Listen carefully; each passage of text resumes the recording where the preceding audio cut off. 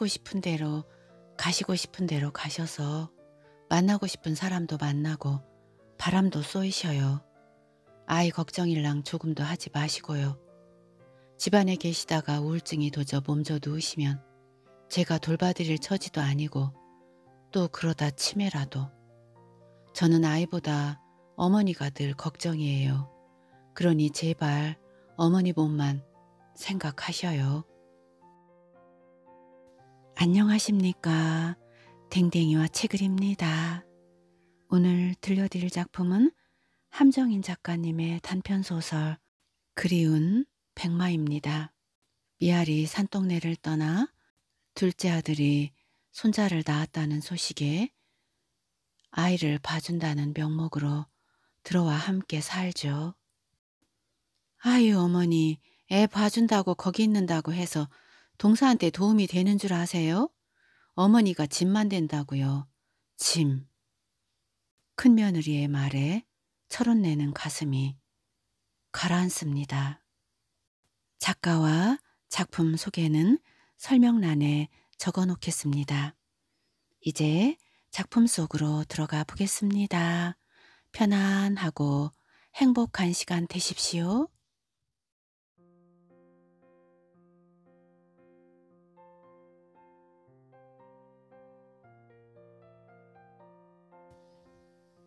또 눈발이 날리기 시작한다.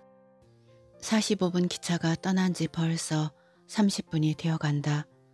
대합실에 앉아 기차가 지나가는 것을 보고 있으면 달리는 말을 틈 사이로 보는 것만 같다. 대합실은 기차가 발차하고 채 2, 3분도 지나지 않아 사람 그림자를 찾아볼 수 없다. 철원내는 이번에도 그냥 일어서질 않을 모양이다. 그럼에도 철원내는 작은 애가 퇴근하고 집에 들어서기가 무섭게 미뤄둔 중요한 볼일을 보러 나가는 사람처럼 허둥지둥 역으로 달려나가서는 마지막 기차가 들어와 사람들이 뿔뿔이 사라진 뒤에도 대합실을 뜨지 않고 있다가 자정이 다 되어서야 당직 영무원과 함께 문을 나서곤 한다. 대합실에 다가 앉아 보았자 아무 쓸데없는 짓이라는 것을 철원내가 모를 리 없다. 누구를 기다리자고 자리를 지키고 있는 것도 아니면서 철원내는 기차가 뿌앙뿌앙 요란하게 기적소리를 낼 때면 어김없이 가슴이 심하게 흔들리곤 한다. 기차가 도착하고 예지에서 실려온 낯선 사람들이 우르르 대합실로 쏟아져 들어오는 순간이면 세상 가슴이 뻐근해지며 생기가 솟구친다. 특히 똑같은 크기의 아파트 부엌창으로 저녁불이 하나둘 켜지고 차가운 시멘트 건물들 사이로 어스름이 질 때면 먼 옛날 여학교 다닐 적 집으로 가던 길목에서 만나던 마을의 등불들이 생각나서 코까지 시큰둥해진다. 종진이 놈이 입주 한 달 전 아파트 엿새를 받으러 가자고 해서 작은 애 차에 실려 백마역을 찾아올 때는 한강 다리를 수도 없이 지나 한참이나 달려가는 것이 멀기만 한데 부성기 하나 없는 허 벌판에 냄새도 마르지 않은 시멘트 건물만 빼곡이 들어찬 광경이 눈에 들어오자 저 괴물 같은 시멘트 감옥 속에서 얼마나 살 수 있을까 은근히 걱정이 되기도 했다. 그러나 정작 차에서 내려 둘레둘레 애들을 쫓아 동호수를 찾아가니 달려올 때 착잡하던 마음이 싹 사라지고 말았다. 새 아파트라서 그런지 아파트 열쇠를 받아든 종진이 놈이 현관문을 따고 활짝 열어 보이자 벽이며 바닥이며 밝고 환한 것이 미아리 오막살이 집에 비하면 천국이 따로 없었다. 그러나 막상 집안을 둘러보니 철원내가 기거할 만한 공간이 마땅치가 않아 작은 애 눈치만 살피는데 작은 애 역시 자기들 침실용으로 방 한 칸, 다른 방 한 칸은 두 개의 책상과 책장을 틀어놓으면 겨우 한 사람 누울 자리라도 날지 모르겠다고 난감해 했다. 이삿짐을 부리고 나자 손바닥만한 공간이 나오긴 했지만 그곳에 꼭 박혀 생활하기에는 철원네의 몸집이 너무 컸다. 작은 애 눈치도 보이고 끼어 살기 못하면 오막살이라도 내 집이 편할 것 같아 미아리로 돌아가려는데 돌연 종현이 놈이 입원한 지 이틀 만에 영문도 없이 세상을 떠버렸다. 그렇잖아도 찢어지는 가슴 온 사방에서 자식 잡아먹은 애미년이라고 손가락질 하는 것 같아 얼굴 들고 차마 미아리 집으로 들어갈 수도 없는 처지가 되어 작은 애 애가 끓든 말든 종진이 놈에게 엉겨붙어 거실에서 기가하는 수밖에 없었다. 밤이면 밤마다 정신이 오락가락하다 잠이 들고 잠이 들면 꿈자리가 사나워 가위에 눌리고 헛소리를 지르고 울부짖고 하다 보면 작은 애가 달려나와 철원내를 잡아 깨우는 일이 1년 넘어갔다. 새벽녘이면 베란다에다 앉아 멀뚱히 밖을 쳐다보고만 있자니 아침밥을 짓느라 부스럭거리는 작은 애 보기 열적고 해서 아파트 복도에 이쪽과 저쪽 끝만 제게 제게 오고 갔다. 걸으며 열 번, 백 번 철원내는 자신의 입을 손방아로 찍고 싶었다. 미아리를 떠나기 전 여편네들을 하나둘 모아놓고 입 조사를 떤 것이 결국은 참담한 재앙을 불러온 것이었다. 10년 가까이 씹을 간에 안간에 속을 썩일 대로 썩이던 수인년이 종진이 놈이 결혼날을 잡자 미아리의 늙은이 미하고 저만 닮기 끔찍했던지 생각지도 않던 사내 녀석을 데려와서는 종진이 놈 결혼 전에 집을 떠나겠다고 하니 철원내로서는 한편으로 속 시원하고 한편으로 허망한 게 한동안 어안이 벙벙했었다. 그래도 수인연이 고등학교를 졸업한 날부터 코딱지만한 회사라도 격리로 취직해 십수년간 꿰차고 앉아 벌어 모은 돈으로 후다닥 시집 나가고 종진이 놈까지 장가들어 곧바로 없던 손주 녀석까지 떡 하나 얻으니 철원내에게는 세상에 더 바랄 것이 없었다. 가게방으로 마시러 오는 산동네 옆편 애들한테 내 팔자가 늘어진 상팔자라고 곧 새 아파트에서 손주놈 재롱 보며 세월 가는 줄 모르게 살 날이 머지않았다고 자랑삼아 떠벌린 것이 후회에 후회를 불러와 생각할수록 억만장이 무너졌다. 할머니 오늘 또 막차예요? 날씨가 추운데 별일 없으시면 그만 들어가시지요. 창밖으로 눈이 제법 날린다. 순찰을 끝냈는지 개찰구 안으로 들어서던 영무원이 대합실 구석에 앉아있는 철원내를 눈에 심으며 다가오자 철원내는 고개를 못 들고 애먼 발만 바닥에 지디긴다. 키가 작고 제재한 얼굴상이기는 하지만 목소리만은 구수하고 인정이 넘치는 영무원이다. 철원내는 딱히 할 말이 있지 않기도 하지만 관심을 가져주는 것이 고마운 한편 부끄러워서 영무원이 어서 창고 안으로 들어가 주기를 바랄 뿐이다. 그렇게 바라면서도 달리는 입술을 달싹이며 영무원과 뭐라도 이야기하고 싶은 욕구가 치밀기도 한다. 그러고 보니 철원내는 며칠째 말을 하지 못했다는 사실을 깨닫는다. 하고 싶은 말을 하지 못하니 사는 맛이 없는 것은 물론이고 바람 빠진 풍선처럼 허전한 게 무엇을 크게 잃어버린 것만 같다. 종진이 놈이 말귀를 알아들을 대여섯 살 무렵부터는 재봉틀을 하루 종일 밟으며 몇 회씩 이불을 만들어대느라 몸은 뽀개지고 고단해도 녀석을 옆에 끼고 있으면 입맛은 바퀴단 틀 모양 신나게 살아 움직여대는 게 시간 가는 줄 몰랐었다. 그렇게 한 세월을 보냈었다. 예, 그게 말이에요. 제가 열대여섯 살때 전차를 타고 금강새날 갔더랬어요. 그때 처음 기차를 타 봤더랬지요. 그게 그러니까 어제 일만 같은데 후. 그러니까 여기 앉았으면 저기 창밖으로 그때를 보고 있는 것만 같아서 철원 내는 연신 밝게 눈 방아를 찧어대며 영무원에게 대답 삼아 입을 연다. 영무원은 매일 저녁과 밤을 대합실에 나와 보내는 철원내가 이상할 만도 한데 굳이 사정을 묻지도 않고 이상스레 쳐다보지도 않는다. 시시콜콜 오가는 사람한테 일일이 물어보다 보면 영무원 노릇을 못할지도 모른다. 여기란 그러니까 여기에 대합실이란 그저 오가는 뜨내기들이 바람처럼 정처 없이 들르는 곳이기도 하지만 때로는 낮은 하늘에 머무는 먹구름처럼 웅크리고 앉아서 저마다 맺힌 사연을 도닥거리며 부는 장소인 것이다.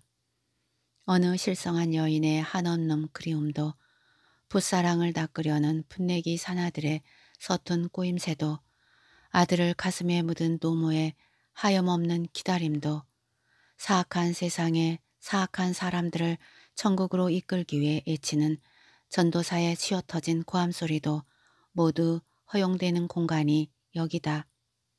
예, 할머니 고향이 그러니까 북쪽이구만요. 영무원은 더 안 들어도 사정을 알겠다는 듯이 등을 보이며 창구로 들어선다. 철원내는 영무원의 말에 고개를 끄덕인다. 고향이라는 말이 철원내에게 새롭게 추억을 불러들이기 때문이다.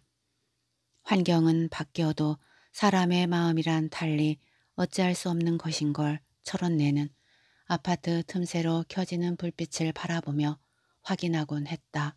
뒤 집에선가 불이 켜지면 우선 마음이 놓이고 편안해지고 너그러워진다. 저기에 누가 살고 있구나 하는 안도감 같은 것이다. 세상에 나 혼자만은 아니라는 뿌듯함 같은 것이다. 그 다음에 오는 것이 쓸쓸하고 애롭고 슬픈 감정이지만 고향이란 그런 것인가? 고향을 느끼기 위해서 철원내는 여기에 나오는 것인가?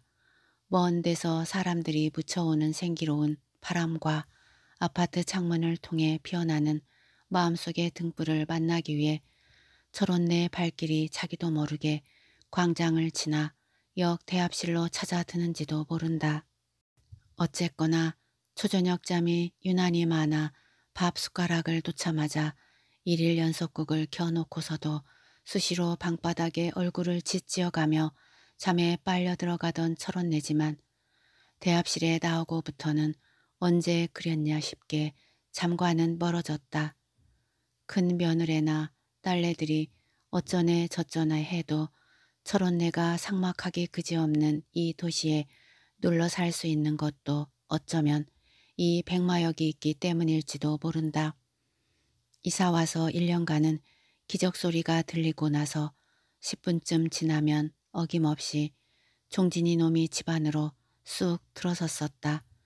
그래서일까 기적소리가 울리고 기차가 역에 가까워오고 사람들이 우르르 쏟아져 내릴 때면 여전히 가슴이 뛰는 것이 개찰구 안으로 사람들의 얼굴들이 밀려올 때면 그 속에서 종진이 놈을 볼 때도 있다. 얼른 일어나 사람들을 해치고 다가서다 아니라는 것을 깨달으면서도 철원내는 일으킨 모험을 주저앉히지 못하고 사람들 어깨에 부딪히며 서성대다가 결국에는 앉았던 자리로 돌아오는 것이다. 어이쿠 그 할머니 풍채 한번 보기 좋아수. 어디 가면 낭장낸 줄 알수다잉. 아까 10시 기차가 들어왔다 나갈 때였다. 끙 하고 의자에 엉덩이를 걸치는데 반나마 허리가 굽은 말라깽이 할망구가 철원내 옆을 지나가다가 다시 되돌아와서는 철원내 신수를 훑어보고는 감탄을 연발했다. 할머니같이 잘생긴 기는 내 말만 들었지 보우. 어쩜 칠맨조 고건맨치 축 늘어진 게 부처님 기는 저리 가라네 그려. 다른 것은 몰라도 천수를 누리겠수. 우두망찰 듣게 된 낯선 할망구의 관상풀이에 지나던 사람마다 힐끗힐끗 철원내를 돌아보는 통에 그렇잖아도 어색한 몸 남복이 우세스러워서 철원내는 몸둘 바를 몰라 했다. 듣기 좋아라 하는 말일 텐데도 추레하게 늙어 빠진 할망구가 떼지른 말이 철원네의 귀에 좋게만은 들리지 않았다. 작은 애는 철원네의 비대한 몸이 늘 걱정인 것을 알기 때문이었다. 절대 뒤돌아보지 마세요. 꽃샘 추위가 맹렬하던 지난해 춘 3월 어느 밤이었다. 종진이 놈이 병원으로 가던 날부터 이제나 저제나 기다리는데 따라간 작은 애는 병원에 눌러붙어 콧배기도 보이지 않고 쫓아가려니 애가 걸려 이러지도 저러지도 못하는데 불광동 아우가 차만 점쟁이를 알아놨으니 거기만 가면 앞니를 알 수 있을 거라고 기띔해 줬다. 수인년을 집에 불러다 놓고는 집을 다섰다. 매달 온라인으로 작은 애가 넣어주는 용돈에서 10원 한 푼 꺼내 쓰지 않고 아득바득 모아놓은 통장을 움켜쥐고 단박에 박석곡에 넘어 불광동 산 기슭에 자리한 허름한 점집에 들어섰다. 이 집 조상은 네 집 조상인가? 자손들을 마구 흔들고 있어. 무덤을 다시 써야겠어. 집에 들어선 단자 수인연을 탁달해서 의정부에 보내보니 직관이 좋다고 입에 침이 마르도록 칭찬하던 영감의 묘자리가 산압기로 이름난 아카시아 줄기가 옆구리를 찌르고 힘차게 솟구쳐 있었다. 종진이 놈이 병원으로 실려가기 전에 목구멍으로 죽도 못 넘기고 옆구리가 결리다고 하던 것이 영락 없이 점쟁이 말이 들어맞았다. 철원내는 불불이 눈물을 거두고 일어나 점쟁이가 하라는 대로 죽을 쏘 가지고 종진이 놈이 누운 병실로 들어가 머리맡에 한 번, 옆구리에 한 번, 발치에 한 번 고수레를 하고는 작은 애 얼굴을 보는 둥 마는 둥 집으로 달려왔다. 숨이 찼다. 평소 같으면 버럭 화를 내고 무슨 미신 짓거리냐고 고함을 지를 종진이 놈도 철원내가 하는 대로 내버려 두었다. 암, 모두 저 낫자고 하는 짓인데 말릴 려면 왜 해? 철원내는 자신이 있었다. 뒤돌아보면 물러가던 악기가 쫓아붙습니다. 그러면 지금까지 들인 정성이 헛게 됩니다. 기불을 내는 추위가 한겨울 칼바람을 맞듯 뺏어왔다. 춥고 무섭고 슬픈 것이 쨍쨍한 밤하늘을 찌를 것 같았다. 작은 애도 철원 애도 종진이 놈을 지키던 홍필이를 비롯한 친구 두엇도 뒤를 돌아보지 않고 내달리다시피 빠른 걸음으로 절 밖으로 나왔다. 철원 내 저금통을 몽땅 끌어먹고도 종진이 놈이 나아지기는커녕 병원 쪽에서는 나와서는 안 될 소리가 나오고 있는 모양이었다.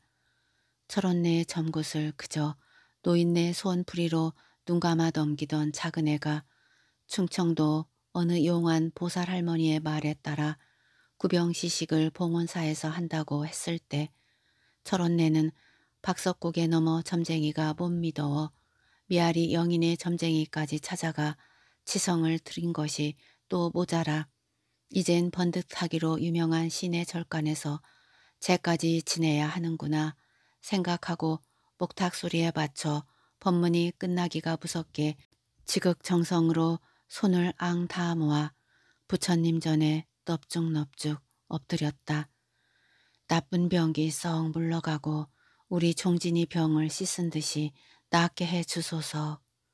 부처님 전에 재를 드리고 나서 스님이 이르는 대로 뒷문으로 나가니 거기에도 역시 한상 차려져 재를 지낼 준비가 되어 있었다. 두 개의 촛대에 불을 붙이는데 절 무퉁이를 지나 숲으로 가던 바람이 사람 애간장을 녹이며 번번이 촛불을 꺼뜨렸다. 작은 애와 철원 내는 심지에 불을 붙여 두 손으로 막아서고는 촛불이 꺼지지 않도록 지켜섰는 중에 철원 내의 눈에 펄럭펄럭 휘날리는 종이장이 보였다. 잘못 보았는가 싶어 눈을 꿈벅여 다시 벽면을 보니 잘못 본 것이 아니었다.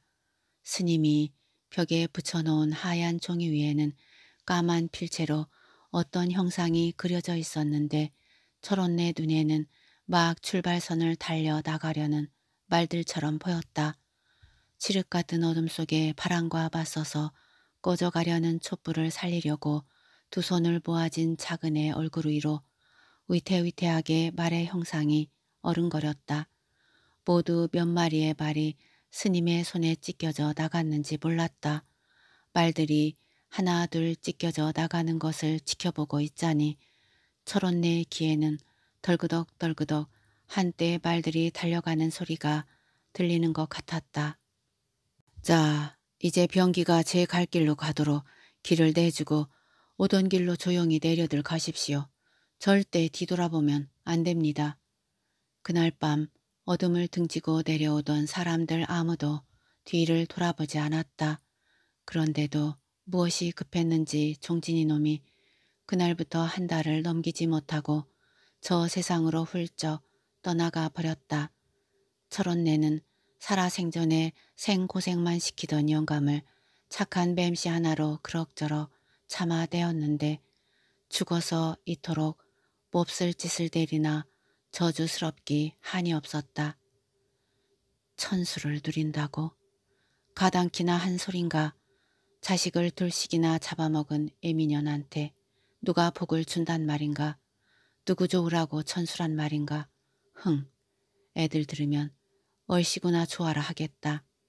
아니 이 꼴 저 꼴 보고 싶지 않아 죽지 못해 안달인데 더 살아 무슨 좋은 꼴 본다고 가던 길 멈추고 되돌아와서 원치 않은 말을 해준단 말인가. 빵할 놈의 할망구.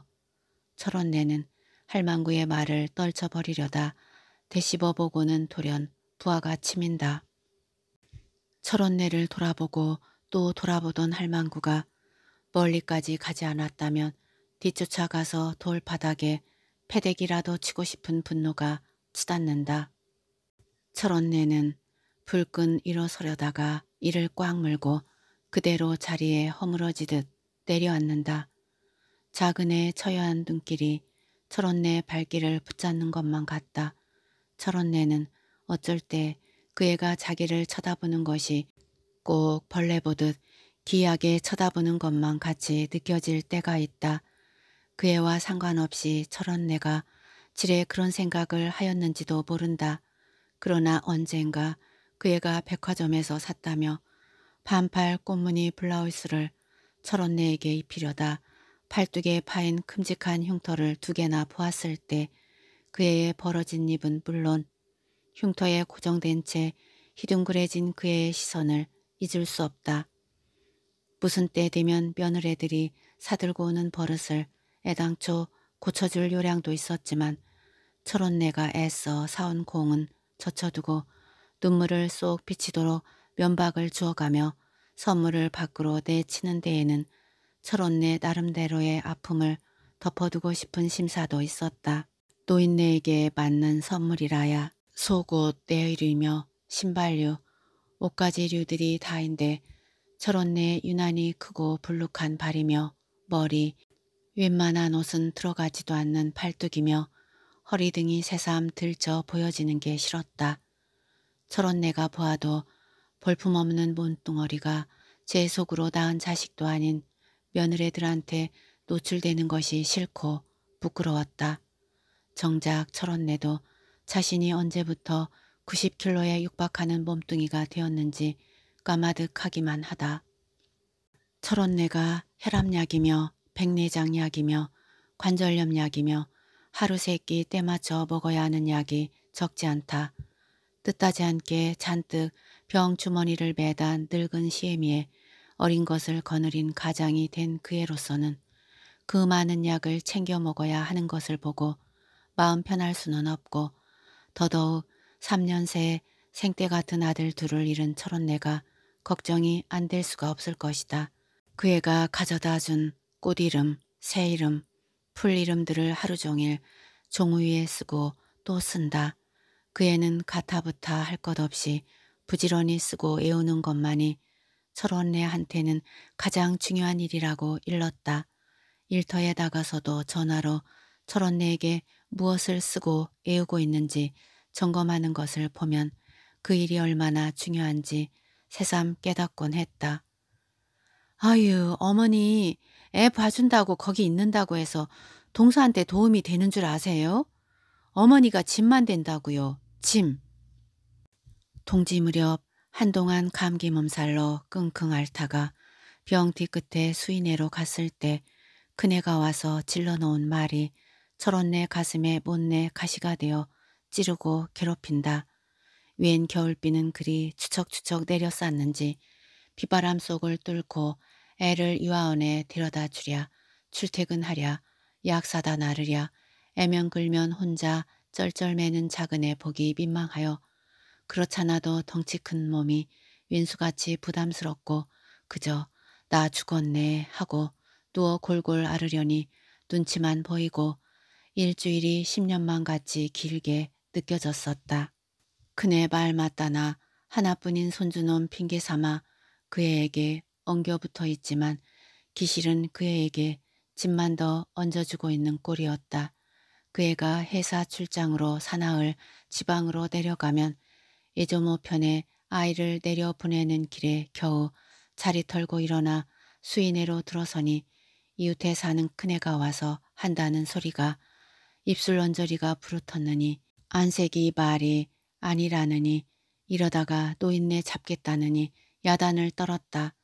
작은 애가 손이 모자라 친정에 칠순 넘긴 노모까지 불러들여 철원내를 간병하는 때에는 얼굴 한 번 디밀지 않았던 큰애지만 늙으면 어린애 같아진다는 말이 꼭 맞는 것이 느는 게 애로움이요 서러움이어서 눈앞에서 걱정 삼아 떨어대는 야단법석이 철원내한테 싫지 않았다. 에고 에고 내가 울고 싶어도 마음대로 울 수가 있나. 한번 일어설라 치면 온몸의 뼈들이 우두둑 우두둑 부러지는 소리가 먹은 기에도 와장창인데 아침이라고 늦게까지 누워있을 수가 있나. 그렇다고 속이 썩고 썩어 답답해도 마음껏 나 돌아다닐 수가 있나. 철창 없는 감옥이 따로 없다. 자식 없는 며느리 밥 얻어먹고 있는 거 미안해서 움직거려 보지만 그 애가 당장이라도 나가라면 내 신세가 깨진 쪽박찬 거지만도 못하다. 끙. 꼬리곰탕을 끓이느니 영양제라도 한 대 맞아야 한다느니 수선을 떠는 통에 철원내는 얼핏 가슴에 붙고 온 작은 애 수척 계신 얼굴을 간데없고 그동안 쌓인 서러운 심사만 눈덩이처럼 커져 수인연을 붙잡고 한다는 것이 또 하소연이 되고 말았다. 그렇게 힘들면 이참에 아예 따로 살지 뭐. 그네가 그렇게 말은 해도 별 뾰족수는 있는 것도 아닌데 걸핏하면 작은 애한테 나오라고 성하였다. 오막살이라도 미아리 집이 이제 재개발에 들어가니 그것을 염두에 두고 그러는 게인가 그네를 찬찬히 살펴보다가도 그게 어느 세월에 돈이 되어줄까 싶은 게 기다리다 지레 나가 떨어지겠지. 안도의 한숨을 내쉬었다. 그네가 일정한 벌이도 없으면서도 씀씀이가 크고 소갯말을 앞뒤 없이 터치는 데에는 두 손발 다 든 지 오래지만 그래도 십수년간 이 집 풍상을 옆에서 겪어온 아이인지라 어쩌다 보면 얄미운 점보다는 반가운 마음이 앞섰다. 그나저나 그의 집을 나오면 어디로 간단 말인가. 진작에 그의 앞길을 비켜주어야 도리라는 걸 모르지 않으면서도 하는 일 없이 친정 도움으로 사는 그네한테는 발도 못 디밀겠고 수인네나 큰딸 수임이네나 작은 집 구석에 둘씩 셋씩 되는 새끼들 끼고 사는 것도 힘든 처지에 저런 내가 끼어들 틈이 어림없이 민기적거리고 주질러 앉는 것이 화근이었다. 그렇다고 미아리 집으로 다시 들어갈 수는 없었다. 수인녀는 제 집에 와 함께 살자고 하지만 무슨 면목으로 올해 홍서방을 볼 것인가. 철원내는 수희가 곰살궂게 이 얘기 저 얘기 파고들어도 마음속으로는 설레설레 고개를 저었었다. 아무렴 손주놈 뒤치닥거리가 낫지. 허나 작은 애에게 짐이 된다고 하니 철원내는 아무래도 며칠 전 아침 작은 애에게 푸념삼아 내지른 악다구니가 못내 마음에 걸렸다. 작은 애 납덩이처럼 차갑게 굳어진 얼굴이 간간히 철원내의 가슴을 짓눌렀다. 젊디 젊은 그 애가 살아보겠다고 낑낑대는 것이 안쓰럽고 불쌍하여 끌탕을 끓다 보면 옹이가 맺혀지고 맺힌 옹이가 커지면 자신도 모르게 악다구니를 떨게 된다. 작은 애가 하얗게 질렸건 말건 잡히는 대로 개성을 치르고 부닥거리를 하고 나면 딱딱하게 맺혀있던 옹이가 풀어져 버린다. 우라질 놈들, 사귀꾼 같은 놈들, 날 이 지경으로 뭐라? 으이구, 응? 어림없다, 어림없어. 니놈들 쌩으로 걱정은 왜 해? 팽! 코를 풀고 눈자위를 훔치고 야단을 떨면서 작은 애 쪽을 슬쩍 보아보지만 그 애는 꿈쩍도 하지 않고 벽면을 향하고 식탁에 푹 박듯 앉아있기만 했다. 철원내는 지난 가을을 지나면서부터 작은 애가 부쩍 말이 없어지고 넋을 빼놓은 듯 반응이 없는 것이 마음에 걸렸다. 처음 종진이 놈이 오막살이 같은 산동네 집에 그 애를 데리고 왔을 때는 포근한 구석이라고는 눈을 비비고 다시 봐도 없고 순 서울 똘깍쟁이처럼 차갑게 그지없는 얼굴에다 콧대 높은 여대를 나왔다고 해서 시집간 큰딸년까지 불러 옆에 끼고 절을 받았는데 절을 하자마자 겨우 한 사람 발 디딜 틈밖에 없이 좁디 좁은 부엌으로 청 나서서는 불고기인가 뭔가를 재빠르게 만들어 한 상 차려 들어오는 데는 철원내의 눈이 희번그레질 수밖에 없었다. 역시 배워 담 주지는 않는 모양으로 종진이 놈이 학교 다닐 적부터 내내 대몬가 운동인가 하며 졸업하고도 몇 년을 부진 애를 태우더니 중국에 가서 섹시 하나는 확실히 골라왔다 싶은 게 그나마 철원내에게 의안이 되어 주었다. 수임이년이나 수인년이나 한사코 집으로 들이기 창피하다고 하여 사윗감들은 하나같이 집으로 변변히 들여보지도 못하고 밖에서 혼례를 치른 후에야 나중에 집으로 들여왔는데 그때마다 사위들은 입을 모아 텔레비전에서도 구경해보지 못한 달동네 집이라고 너스레를 떨었다.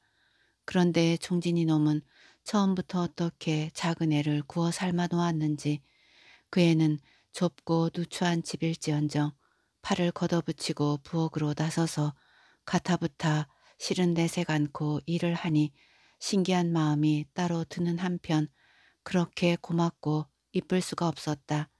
한번 이쁘게 보아서 그런지 작은 애가 하는 짓은 어디가 달라도 달라 보였다. 한꺼번에 끼고 살았던 막내 애들이 결혼에 떨어져 나가니 산동네 덩그마니 혼자 남은 철원내로서는 땅이 꺼진 듯 하늘이 내려앉은 듯 허망하기 그지없었다. 낮인지 밥인지 분간이 안 서고 살았는지 죽었는지 갈피가 안 잡히는 중에 작은 애가 꼬박꼬박 안부 전화를 넣어 혼미한 철원내에게 훈훈한 입김을 넣어주는 것이 여간 살가운 것이 아니었다. 그래서 종진이 놈이 전화를 걸어 그 애가 아들을 낳았다는 소식을 듣자 그 길로 미아리 집을 떠난 것이 다시는 돌아가지 못하고 오늘이 되었다. 어머니 하시고 싶은 대로 가시고 싶은 대로 가셔서 만나고 싶은 사람도 만나고 바람도 쏘이셔요. 아이 걱정일랑 조금도 하지 마시고요. 집안에 계시다가 우울증이 도져 몸져 누우시면 제가 돌봐드릴 처지도 아니고 또 그러다 치매라도. 저는 아이보다 어머니가 늘 걱정이에요. 그러니 제발 어머니 몸만 생각하셔요. 작은 애가 식탁에서 내려와 찔끔찔끔 눈물을 찍어대는 철원내 앞으로 다가와 앉아서 철원내의 뭉툭한 손을 잡았을 때 철원내는 여느 때와 같이 자기가 듣고 싶은 말을 이제 해 주겠거니 잔뜩 기대를 했다.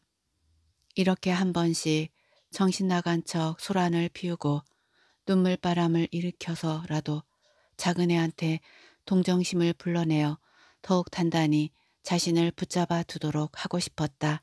그런데 지난번과는 달리 작은 애는 눈 하나 깜짝하지 않고 철원내 하고 싶은 대로 하라고 나오는 것이 아닌가.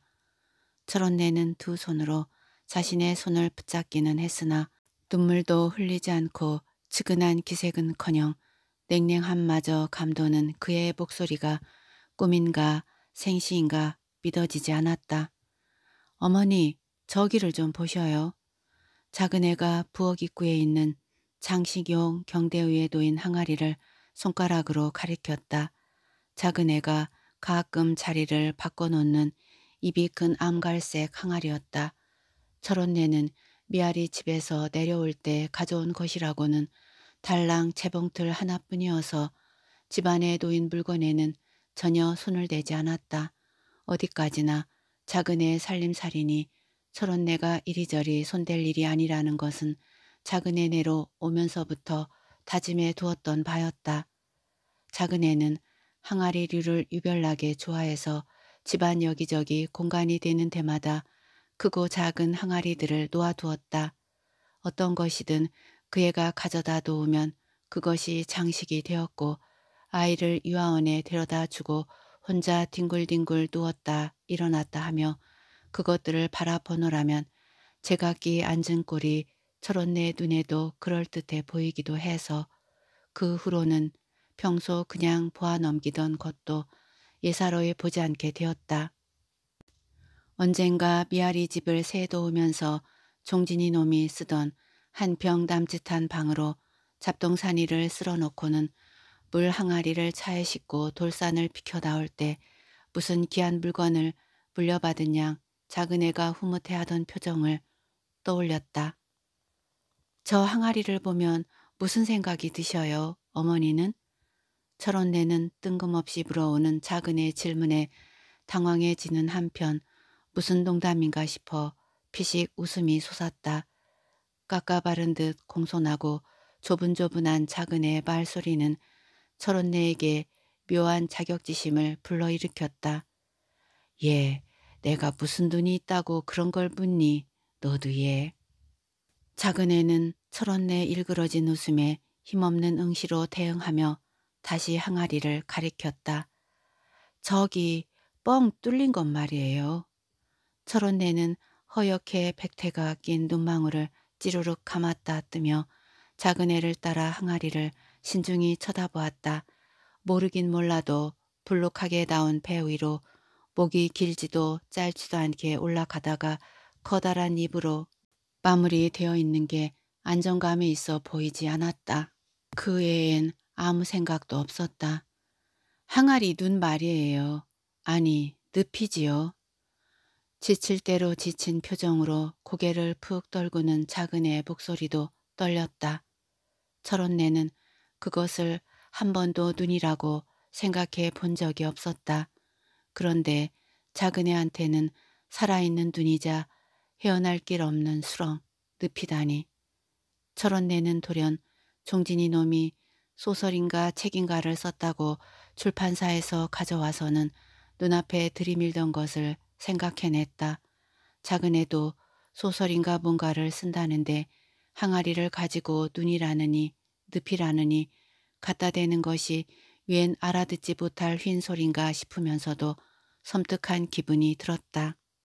종진이 놈이 첫 책이랍시고 애지중지 가슴에 품고 와서는 애미에게 바치는 것을 처음엔 대견한 마음으로 침침한 눈을 씌어가며 몇 번 펼쳐 보다가는 다시는 열어보지 않게 되던 일이 떠올려졌다. 책 속의 어느 구절에선가 미아리 시절 파출부 일에 재봉틀 일에 지치고 지쳐 넌더리를 치며 내지르곤 하던 이 씨를 말릴 함경도 종자들아 라는 악다구니가 글자 한자 틀리지 않고 박혀 있다가 철원내 눈앞에 톡 튀어나왔다. 철원내는 그것이 눈에 들어오자 뒷목이 하르르 떨리고 뻣뻣해지는 것이 마음이 여간 상하는 것이 아니었다. 더더욱 종진이 놈이 무엇을 잘 했는지 방송에 나온다고 작은 애가 들어보라고 라디오를 갖다가 틀어주는데 말마다 북에 두고 온 처자가 어쩌고 저쩌고 하는데 귀를 틀어막을 수도 없고 가슴에 있는 불을 태연히 견디기가 보통 괴로운 것이 아니었다. 그 뒤로는 종진이 놈이 미아리 얘기를 책으로 쓰든 신문에 나오든 아예 강 건너 불 보듯 모른 척 했다. 아무려나 철원내 모질고 긴 악다구니가 종진이 놈이 파먹고 산 소설이었다면 당사자인 철원내에게는 미아리 살림이 구차하기는 해도 속갯말을 마음껏 토해내며 북치기를 해댈 수 있어서 활기차고 좋았다. 철원내는 시든 꽃잎처럼 힘없이 고개가 꺾인 작은 애 처량한 신세를 쯧쯧 혀를 차며 넘겨보았다. 그저 늘 고요하기만 한 작은 애 속은 오죽하랴 싶은 게 측은하게 생각되었다. 걸핏하면 자식 없는 며느리한테 밥 얻어먹는 것 미안하다. 꽃 땡코함을 치는 철원내를 어쩌지 못하고 먼 산 바라보기 하듯 바라만 보는 그의 심정은 어땠을꼬. 철원내는 오금팍이 쩌르르 저리며 오줌이 주르륵 흐르고 있어도 어쩌지 못하고 항아리만을 쳐다보고 있었다. 어머니와 저 사이에 거침없이 가로놓인 것이 바로 저 시커먼 눈이에요. 저 눈이 부릅뜨고 우리를 지켜보고 있는 한 저는 숨이 막혀 죽게 될 거예요. 철원내는 항아리에서 눈을 떼고 슬그머니 작은 애 손을 놓고 일어섰다. 어휴, 웬 눈이 이리도 많이 온담? 막차 아직 남았죠? 눈발이 제법 굵어졌는지 대합실로 뛰어들어온 사내의 머리 위로 눈이 수북하게 쌓였다. 사내는 철원내를 향해 붙다가 역 창구로 가서 사람을 찾지만 영무원이 보이지 않자 벽에 걸린 시계를 희끗 쳐다본 후 다시 철원내에게 눈길을 던진다. 철원내는 특유의 수줍음 중으로 움짓 몸을 움츠리다가 사내가 개찰구 쪽으로 다가가자 그제야 고개를 들고 사내 행색을 살펴본다. 올해는 유난히 눈이 많이 오시네요. 닫힌 개찰구 문 밖에서는 하얀 눈송이들이 끊임없이 흩날린다. 할머니는 어디까지 가세요?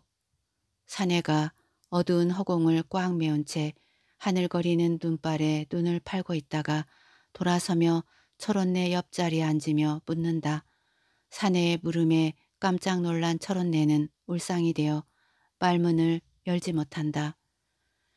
글쎄 저는 그저 금강산에 아니 기차가 여적지 않을 리가 없는데 행설수설하는 철원내 얼굴을 잠시 들여다본 사내는 철원내의 불안정한 눈동자에서 이상한 낌새라도 발견한 양 얼른 일어나 매표구로 가서 큰 소리로 영무원을 부른다.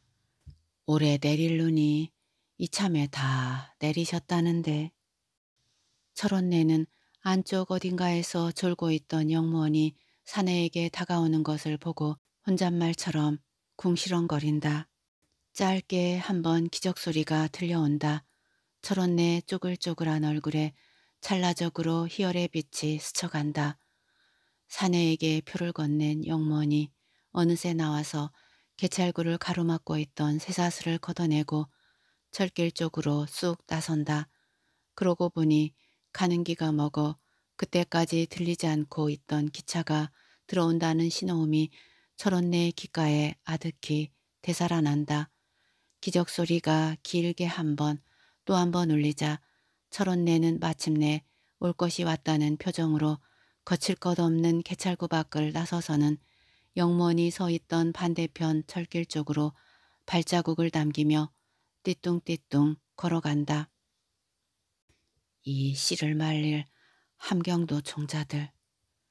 철원내는 자기도 모르게 미아리 집에서 습관적으로 터져나오던 말이 되씹어진다. 사방을 둘러보던 영무원이 철원내가 걸어간 철길 쪽을 향해 돌아선다. 철원 내가 남긴 발자국은 그새 내린 눈에도 흔적으로 남지 않는다. 아무리 큰 족적이라도 그렇고 그런 발자국 속에 쉬 묻혀버리고 철원 내 육중한 몸뚱어리는 내리는 눈 속에 한 줄기 그림자처럼 남기지 않는다. 할머니, 그새 들어가셨나? 기차도 아직 안 들어왔는데 오늘은 웬일이셔? 손님을 받기 위해 개찰구로 들어서던 영무원은 철원내가 앉았던 빈자리를 의아한 표정으로 바라본다. 하얗게 아우성치는 눈발을 헤치고 어둠을 가르며 기차가 달려온다.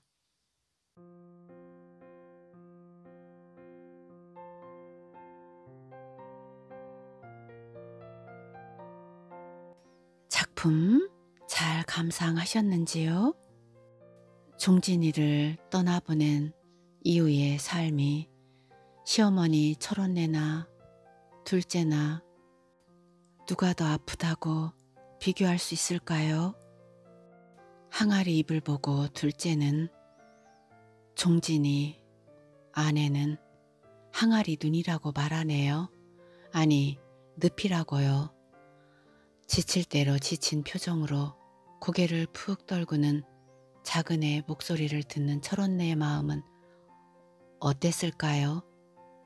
항아리 입을 살아있는 눈이자 헤어날 길 없는 수렁 늪으로 보다니 그럼에도 불구하고 철혼내나 둘째나 살아가야 되겠죠? 사는 날까지는 말이죠.